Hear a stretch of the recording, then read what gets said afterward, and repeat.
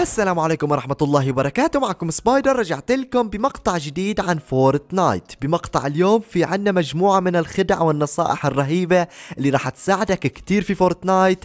أغلب العالم حبت هاي الخدع والنصائح. يعني بكل المقاطع تبع الخدع والنصائح بشوف تعليقات إنه نزل أكثر لأن هذا الشيء عم يفيدنا. فبهذا المقطع جايب لكم خدع ونصائح جديدة راح تساعدكم كتير. بس بتمنى منك إذا كنت جديد بالقناة ومانك مشترك بالقناة اشترك بالقناة وفعل التنبيهات حتى توصلك كل المقاطع الجديدة. وصلوا هذا المقطع لخمسة ألاف like. كل المقاطع السابقة جابت أكثر من خمسة ألاف like. مقاطع الخدع والنصائح. فحاليا أنا بدي أطلب منكم فقط خمسة ألاف like فما رح طول عليكم. خلونا فورا نبدأ بأول خدعة أو نصيحة. النصيحة الأولى أفضل مكان إنك تنزل فيه. طبعا هذا المكان رح تلاقي فيه موارد خرافية ممكن يعني تفلل الموارد اللي معك. وبالإضافة رح تلاقي شيست وحيد اللي هو رح يساعدك وتاخذ منه السلاح. فحاليا هاي المنطقة رح نروح عليها ونشوف قديش رح نحصل موارد منها. رح تحصل منها موارد حجر وخشب بالإضافة لشيست بتحسن إنك تفتحه وبتحسن إنك تطير عن طريق المياه. فيلا خليكم مع المقطع وشوفوا هذا المكان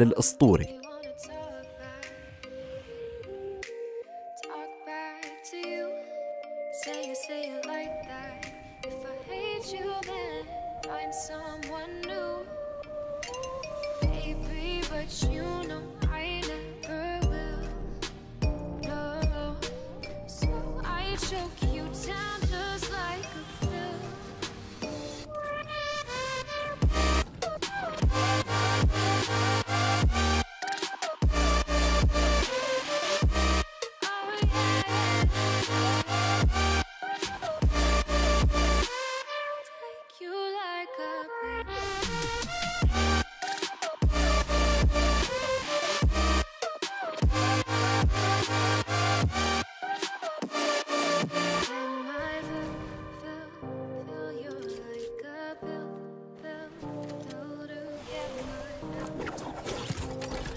وهلا يا شباب في عنا خدعة تانية وهي عن استخدام ال launch pad.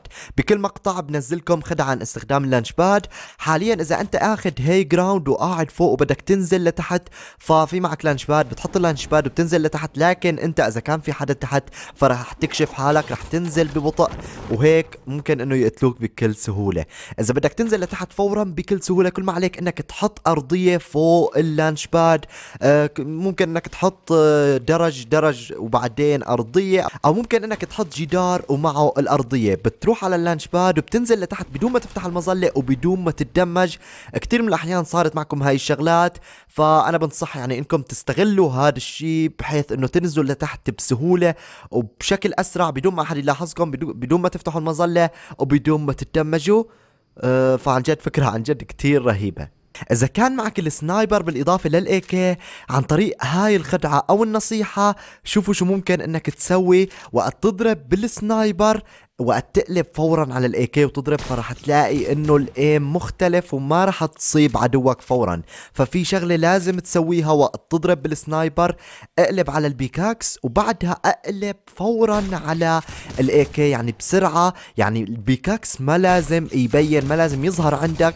هيك ال aim رح يجي فورا تقدر إنك تضرب عدوك وتقتله. ممكن إنك تضرب sniper يجي 150 تضربه AK مرة واحدة أو مرتين ويموت بسرعة. ممكن إنه تجي headshot AK فهاي الطريقة بعتقد أفضل من إنك تبدل وبعدها تأيم فهو بيكون بنى وضاع aim ك وممكن يعني ياخذ shield أو شيء وإذا أنت بعيد عنه.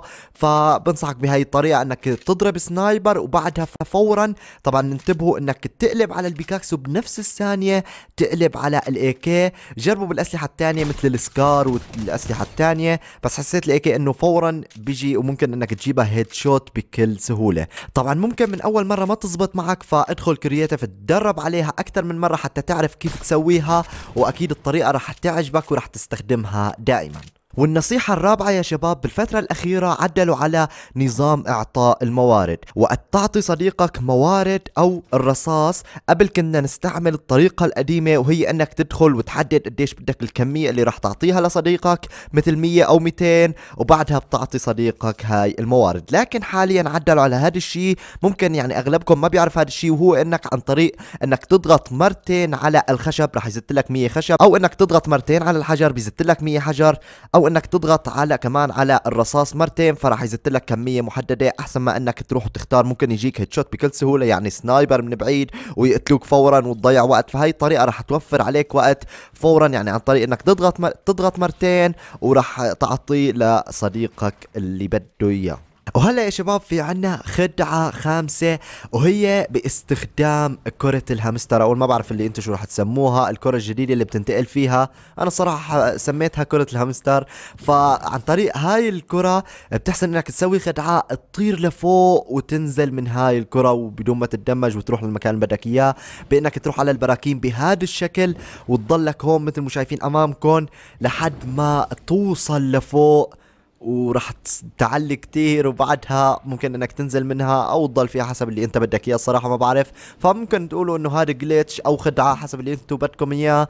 بس أنا مو شايف إنه glitch لأنه هذا من الشركة. انت فأنت ما عم تسوي شيء غلط. ممكن أنت تكون هون وفجأة تطير. فيعني هذا الشيء مع ال launch pad 100% هاي الطريقة رح تساعدك إنك تطير لفوق وتروح للمكان اللي بدك إياه بكل سهولة.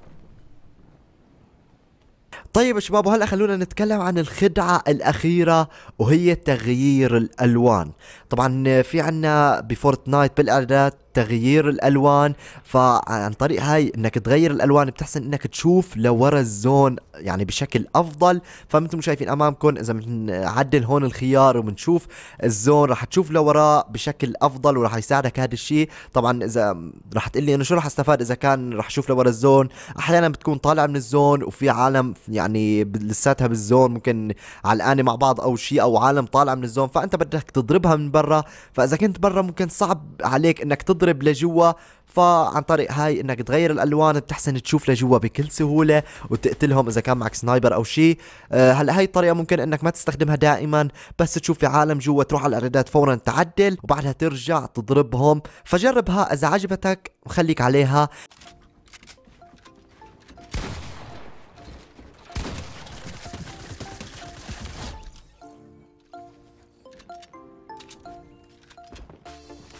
وين هرب؟ ليكو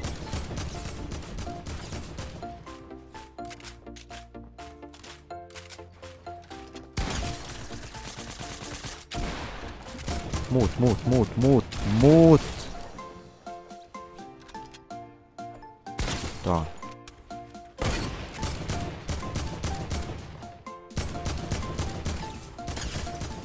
ابلع ابلع موت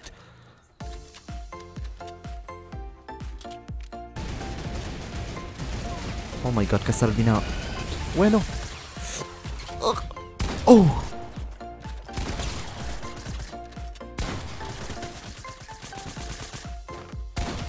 حلو. كفو. تعال ابلع تعال. حرام. oh my God حتى هونيك في عالم. أوه تعال تعال تعال تعال. يلا. oh my God زبطت. وقت كسر هو.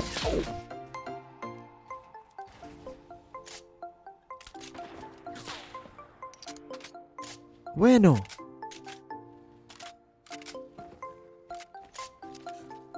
والله بعيد. بالله حبيبي. أوه الكريسماس. عشرة قاعدين عم يشوفوني.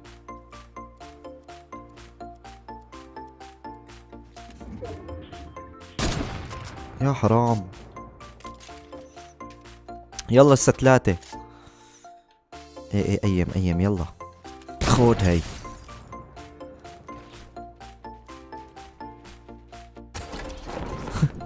مناوب مناوب وات قاعدين صار لهم ساعة بضربوا بعض. تعال انت الثاني تعال. وين هرب؟ يلا يلا يلا. يلا أبلع. يلا أبلع. صار لهم ساعة قاعدين بضربوا على بعض بدون بناء بدون شيء. اوه ماي جاد